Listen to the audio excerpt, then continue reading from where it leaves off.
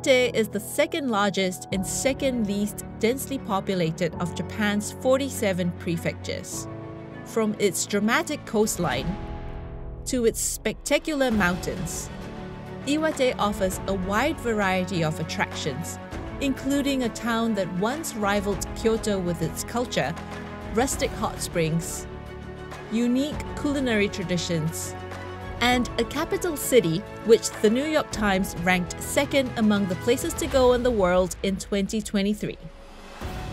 My name is Raina Ong, and let me take you on a tour of where to go and what to do on your first trip to Iwate.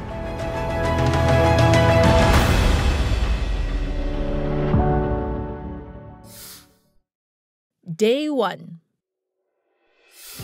Located in northeastern Japan, Iwate is easily accessed by the Tohoku Shinkansen. From Tokyo, we board the bullet train, get off at Ichinoseki Station, and transfer to Hiraizumi. There, we'll rent a bicycle and go first to Chusonji Temple, then to Takkoku no Iwaya, two major attractions in the area. Afterwards, we'll take the train north to a hot spring accommodation in Hanamaki, where we'll end the day.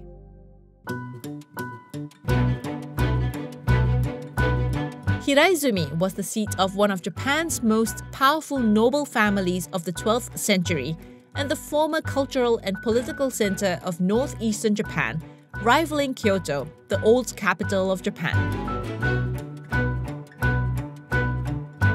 The clan and town declined long ago, but enough cultural treasures remain to make Hiraizumi a UNESCO Cultural World Heritage Site.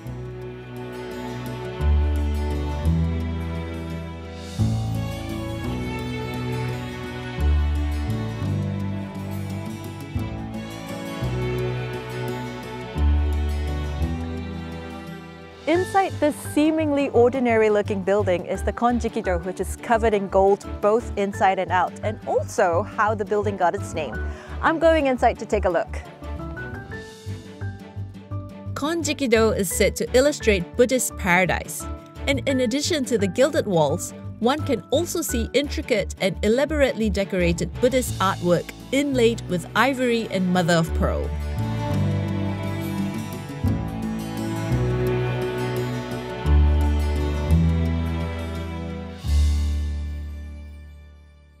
From Chusonji, it is a 30 minute bicycle ride to my next spot, Takkoku no Iwaya.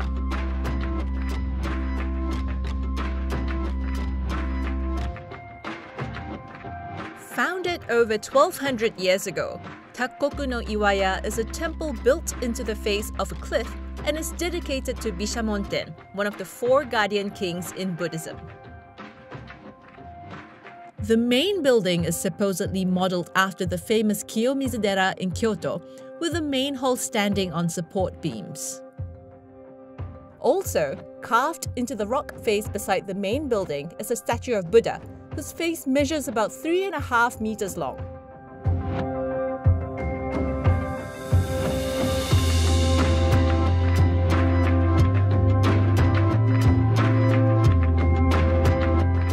From Takkoku no Iwaya, we'll return to Hiraizumi Station and take a train ride to Hanamaki, where we'll transfer to a free shuttle bus to Osawa Onsen, our accommodation for the night.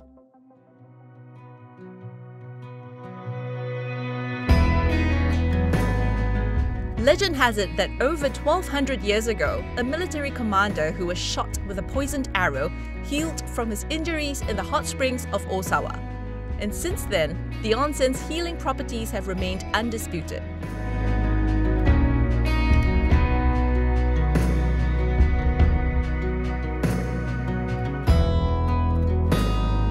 Besides a full-service ryokan, Osawa Onsen features an old-fashioned self-catering toji wing, which used to be common for extended stays at hot springs in the old days, but of which not many remain in Japan today.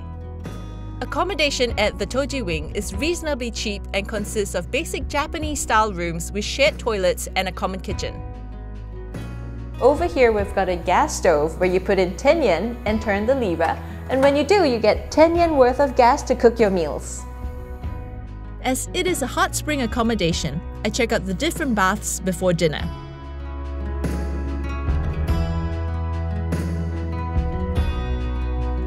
I don't have to cook my dinner because I'm not staying at the Toji Wing. So itadakimasu.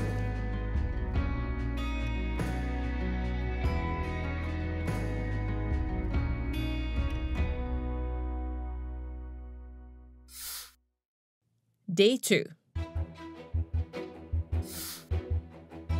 Day 2 begins after breakfast and catching the train to Morioka, the capital city of Iwate Prefecture. We'll explore the town on foot and head first to learn about the local craft, then experience the unique traditional cuisine for lunch, visit some historical sites and cafes, and end the day at a local microbrewery.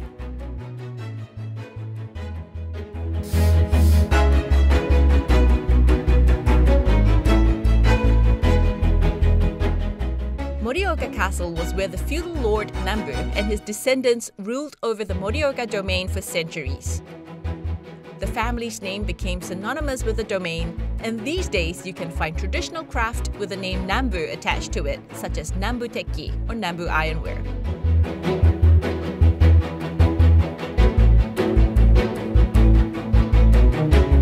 Primarily made in Morioka and Oshu cities, these distinctive and traditional Nambu ironware kettles are highly prized for their simple yet elegant designs. In addition, boiling water in a Nambu Tekki pot is said to produce soft water suitable for making teas. I also visit a cozy cafe where I could taste firsthand drinks made with water that has been boiled in a traditional kettle.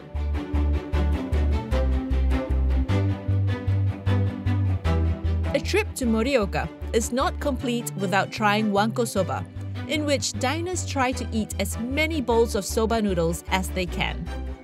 It's said that this dish has a long history and today is a unique food culture in and around Morioka.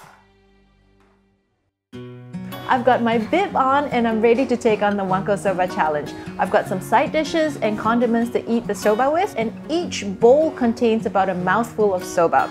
Now this is not a race and I'm gonna try to eat as many bowls as I can.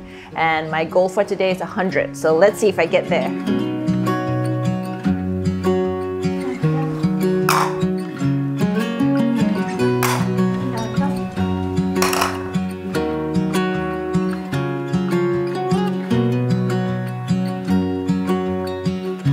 After that filling lunch, it was time to go for a bit of a walk to the temple district. Our route takes us past the Ishiwari Zakura tree, one of the treasures of Morioka, then along the picturesque Teramachi Street, before arriving at Hoonji Temple. Hoonji Temple is known for its 500 statues of Buddhist disciples or rakan, which was said to be carved over a period of four years by nine artisans in Kyoto.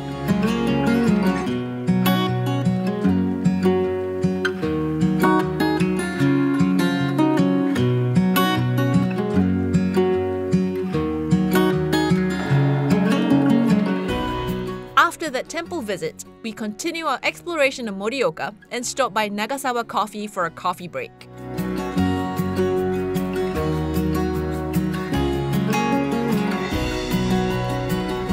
If I had to sum up what Morioka is like, I would say it's a major city with small neighborhood vibes and where you can find lots of independent shops with great personalities all within walking distance. So, to bring my day in Morioka City to a close, I head to Bayron's Sai and Microbrewery, a local craft beer brewery that also offers small bites. It's the end of the day and I'm here at a local brewery that has been around for about 20 years. So, kanpai!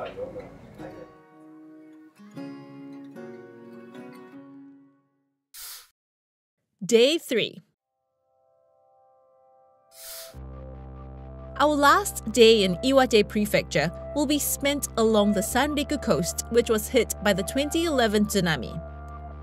From Morioka Station, we take the scenic and quaint local line to the fishing town of Miyako, where we'll try some of the fresh local seafood before visiting Jodogahama, a paradise beach on earth. Then, we'll drive about an hour north to Kitayamazaki to see some of the most spectacular coastline in all of Japan and its stunning tall sea cliffs.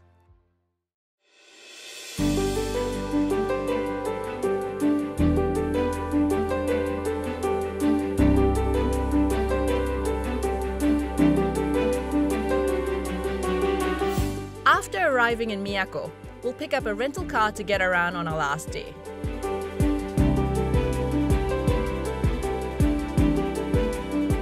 Miyako City was one of the many coastal cities in Iwate Prefecture to be badly damaged by the 2011 tsunami.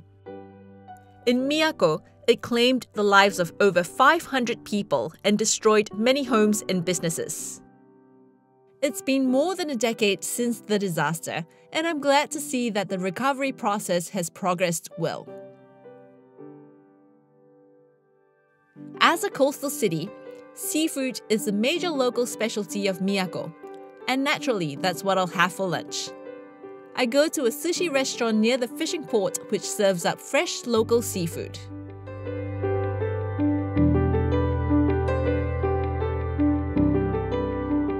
For lunch, you can choose between sushi or a seafood rice bowl, and guess which one's mine? Mm. Mm. Mm-hmm. After lunch, I head into the port area, which is separated from the city by large seawalls, and where you can find the fish market and the roadside station where tickets to the Umineko Maru sightseeing boat to Jodogahama, an icon of the Sanriku coast and my next spot, can be purchased. These are the seawalls which were built after the disaster to protect the city from future tsunami, and you can see similar ones along the rest of the coast. One of the highlights of taking the short boat ride between Miyako's fishing port and Jodogahama is feeding the local seagulls which fly alongside the boat. In fact, the sightseeing boat is named after Umineko, the local seagull variety. Once I get to Jodogahama, I go to the visitor center to learn about the area before embarking on the 15 minute trail to the iconic beach.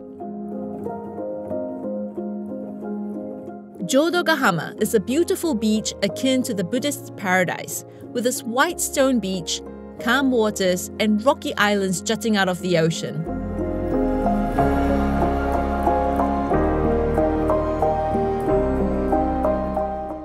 Jodogahama suffered some damage during the 2011 tsunami, with waters coming up to a height of 6.5 meters, but it didn't take long for the tourist facilities to be rebuilt.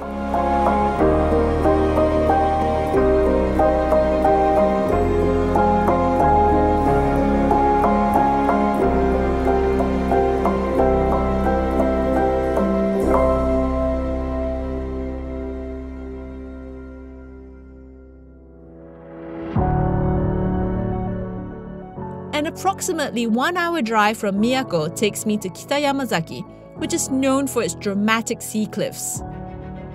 Alternatively, the two spots can be accessed via the Sanriku Railway, which became a symbol of the region's revival as it passes through many coastal towns that were badly damaged by the 2011 tsunami.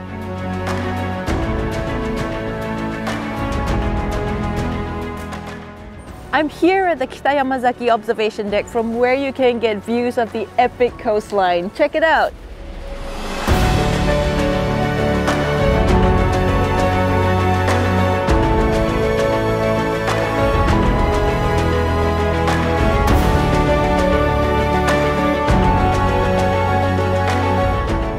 There are three observation decks at Kitayamazaki, from where we can appreciate the views of the coastline.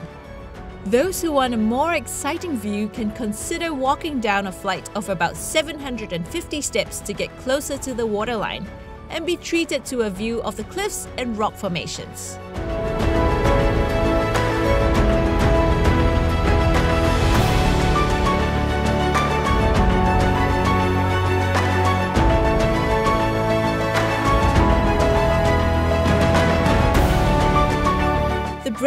Breathtaking views make for a grand ending to our three days in Iwate Prefecture, and I'm glad that we could share this together. Thanks for joining me.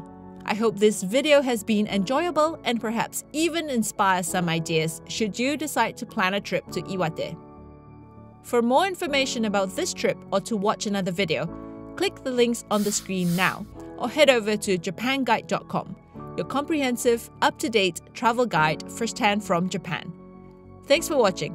Be sure to subscribe and click the notification bell for more videos about Japan. Happy travels!